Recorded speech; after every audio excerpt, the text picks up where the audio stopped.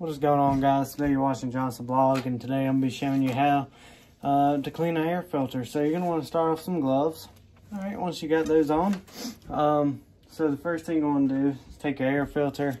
Uh, this is a KLX 125, so it's a very small air filter, but nonetheless it's extremely dirty.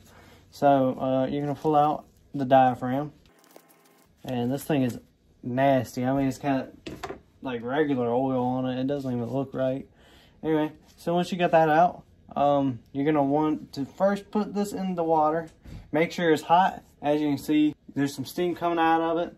Uh, well, it's kind of cold out here, but you do want some warm water to uh, make it as easy as possible. Once you get that in there, go ahead and try to clean all the mud and debris off of it as you possibly can. So today I'm going to be trying out this Maxima Racing uh, filter cleaner and oil. Uh, so we'll be starting out with this one. And what you're going to want to do, it recommends, is you wash this out first.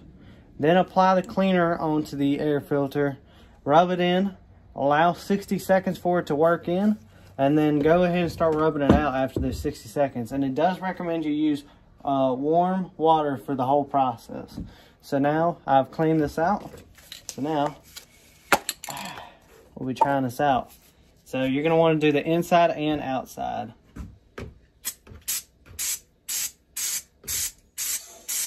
Now, I don't know how your action supposed this. I wasn't going to watch a YouTube tutorial, but I'd assume it's just like spray painting.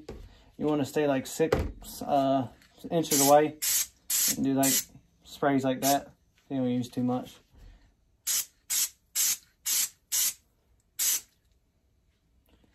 and then do the inside. And I'm gonna let that sit for, uh, well, I'm gonna, I'm gonna rub this in and then we will let it sit for six seconds. And if you're curious, this stuff does kind of smell bad. Um, I don't know if you're supposed to wear a mask while doing it. I'm not. Could be a bad choice. Don't know yet. Alright, I've rubbed it in. Now I'm to wait 60 seconds. All right, now I will uh, start cleaning it. See what it does. When you're washing out your uh, air filter, you want to rub it gently but firmly, and uh, you know just rub just rub like that while you're doing it. And when you're wringing it out, just squeeze it. Do not twist. Don't wring it out. Just just squeeze. That's all you got to do. Alright guys, so the first of it, it actually did a pretty good job. Um, I mean, there's still some spots. And what that can recommends is if you need to go back and do those steps again, you can. And I probably will just to get this clean the first time.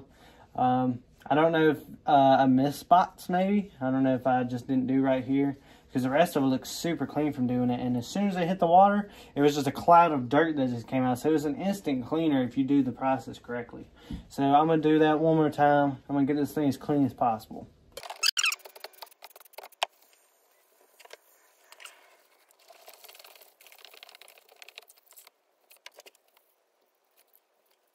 Alright, so now what it recommends you do is uh, go get another uh, tub of clean warm water again. And uh, this thing kind of turned out pretty well. Uh, there's still some spots, but I mean, it got... Your main job is just to get all the stuff in between it out. Uh, it's just like having a cold. Um, you know, you're stopped up, you can't breathe, you don't feel great. Well, this bike's air system is the same way. It's trying to breathe, and it's got all this nasty dust and molecules and all that stopping it from breathing, and it can't run right. It can't run good cleaning your air filters are super important coming to maintenance with this, uh, with your machine. All right, guys, I'm back. Got the clean water. I'll show you real quick. So now, uh, you see how clean it was. I was showing you that so we could see together how well it does after the cleaner is not in there anymore. So I'm to just put this filter right back in there, start wringing it out. And if you're curious where I got this bin from, I got it from uh, Dollar Tree uh, for a dollar. I mean, it's definitely worth the buy. Uh, works perfect. You don't need nothing special. Uh, I mean, you can if you want, but I mean, this thing works just fine. This thing turned out awesome. And I'm going to do something else that, that doesn't recommend you do. Not that it's bad, it just doesn't say anything about it. So that's the cleanest we're going to get it right there. But uh, I'm actually going to take this and put it in there because uh, it was disgusting. I put my hand on that filter and oil, like, it almost looked like engine oil was on my uh, hand. And what I believe it was, uh, the guy we just bought it from, traded, we traded from, he put starter uh, fluid in there, you know, just spray it in there on the filters before he got there. This man was trying to get out of there as fast as he could during the deal. So I believe he was trying to hurry up and run it before um, he ran out. And uh, your diaphragm's clean now. If you do that, that's up to you. That's just my personal preference. Uh, so now, you're going to let this sit. Um, you can do it for a couple hours, but I do it for a whole day. So that way it's completely dry and nothing's wrong with it uh, with installation. Alright guys, so I'm back. Uh, the next day it's dry. So now we will apply the uh, oil. And uh, I actually got up kind of early so it's a little dark in here. Uh, I wanted to get in here before I had to go to work.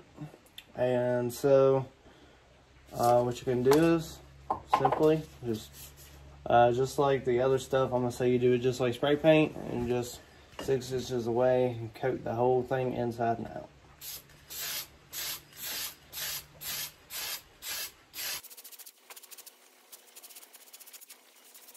The less you press on the trigger, the better it comes out because it comes out like a like a fan. You want to do the inside too. Diaphragm's go back in now. Uh, I like this air filter because it doesn't have like a certain spot it has to be in. So that's actually really cool.